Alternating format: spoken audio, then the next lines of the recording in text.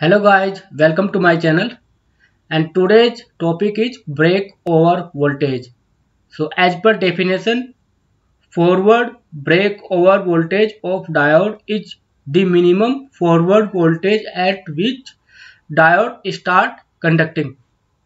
So it may be diode it may be germanium it may be silicon it may be transistor having also operating voltage MOSFET having also operating voltage as, as the threshold voltage of gate SCR having Zener diode also having the threshold uh, operating voltage or breakover voltage if it is used in the forward bias.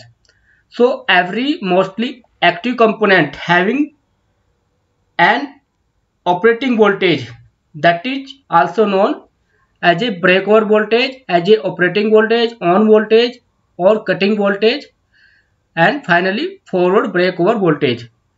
So every mostly as such silicon diode having the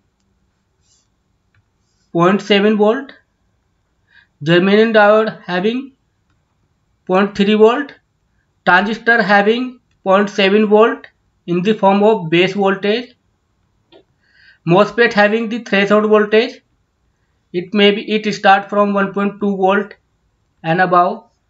And SCR also having some operating voltage 1 volt something 1 volt.